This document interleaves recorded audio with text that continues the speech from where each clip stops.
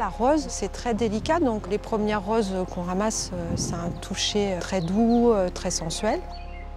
Quand je suis arrivée sur Grasse, je ne connaissais pas du tout la culture de la rose centifolia. C'est quelque chose que j'ai découvert directement sur le terrain. Au printemps, il y a toute la nature qui se réveille. On se réveille avec parce qu'on sait qu'il y a les récoltes qui vont arriver. On ramasse la rose entière avec son pédoncule. Là, il y a un petit point de rupture. On attrape la rose comme ça et clac, on fait ce petit geste.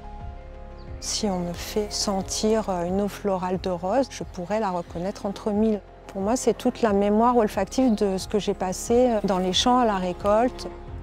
Et je prends soin de mes mains, c'est un outil de travail. Elles ont l'âge et l'expérience. Souvent, la récompense, c'est la qualité du produit que nous, on peut amener au transformateur.